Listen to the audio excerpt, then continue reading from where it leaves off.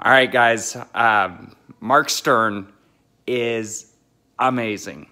So we are, I've hired Mark to put together a virtual event.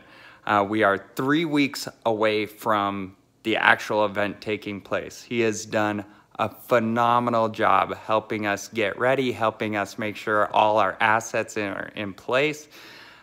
I, I am so glad that I decided to hire him to do it instead of me piecemealing it together because he has done such a phenomenal job.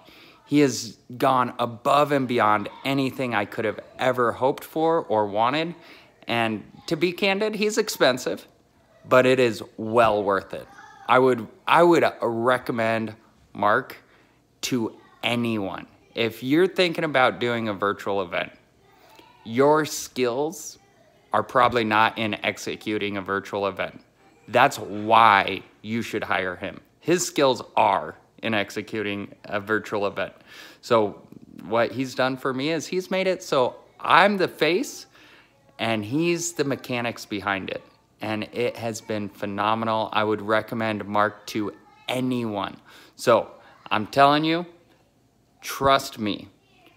Spend your money with Mark hire him, have him do it so that you can do what you're best at, which is whatever it is. I don't know you. So, but what I'm best at, being on camera, being in front of people, talking to people.